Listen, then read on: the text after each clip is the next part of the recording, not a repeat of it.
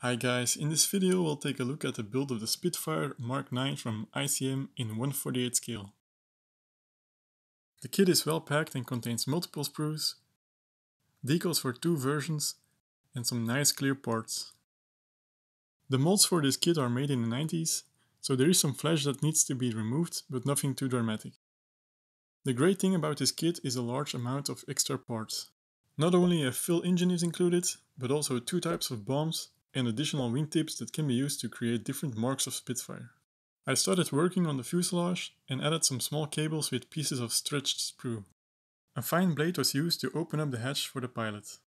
To reduce the thickness of the plastic, I scraped away some material on the inside. This makes the side panels look a bit thinner. Next I mixed a light green interior color that I sprayed with the airbrush, and used a fine brush to paint the details. I also bought this nice resin RAF figure from PJ Productions. The figure was put together with superglue and the control stick was attached to his hands. Painting figures is really an art form in itself, so I struggled many hours with my smallest brush to make him look acceptable. I started with a grey primer, then added the white eyes, pupils and skin tones with Vallejo model color. And whenever I screwed up, I went back in with another color to correct my mistakes. Next I painted the cockpit, the instrument panel comes with a lot of detail and was painted with a very small brush.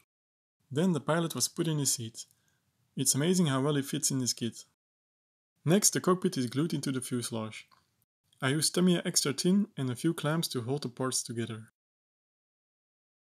The bottom wing was attached to the fuselage and the upper wing suffered from a few sink marks, so these need to be filled in with putty.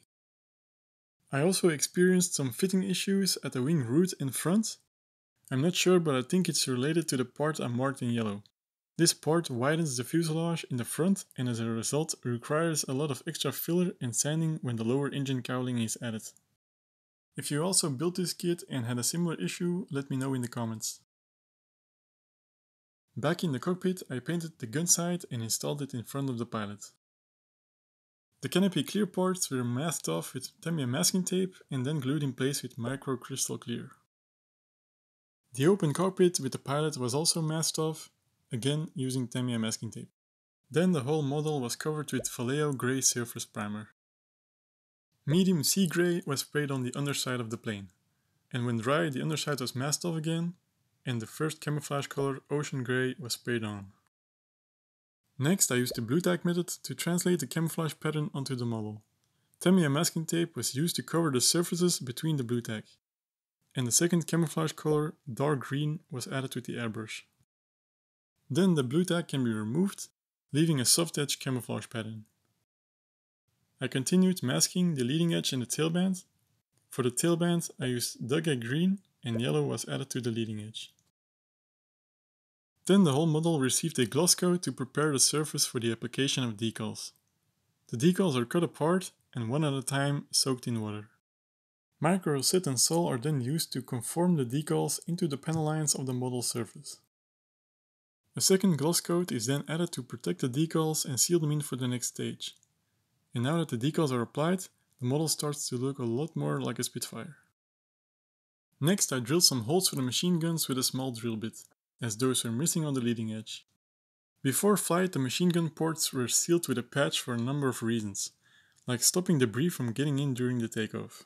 For this I made a small mask and then painted those red with a brush. Next I added a dark panel wash from Tamiya to make the panel lines more notable.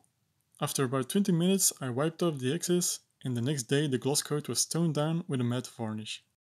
I added some dust effects with the airbrush and then mounted the 20mm Hispano cannons to the wing. The masking tape was removed from the canopy parts and I made sure the pilot was still sitting in the seat. The missing parts were painted and then attached to the model. Some small chipping was added with aluminum paint, and an antenna wire was made from fine sewing thread and fixed in position with superglue.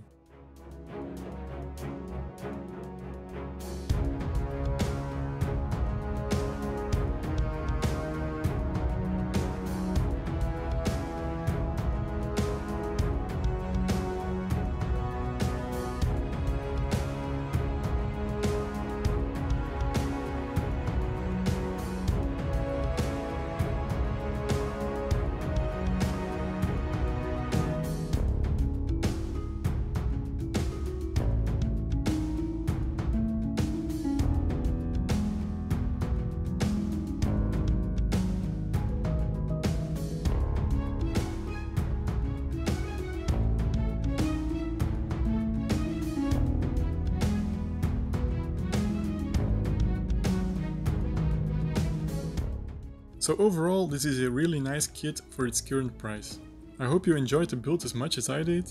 Many thanks for watching and I'll see you in another video.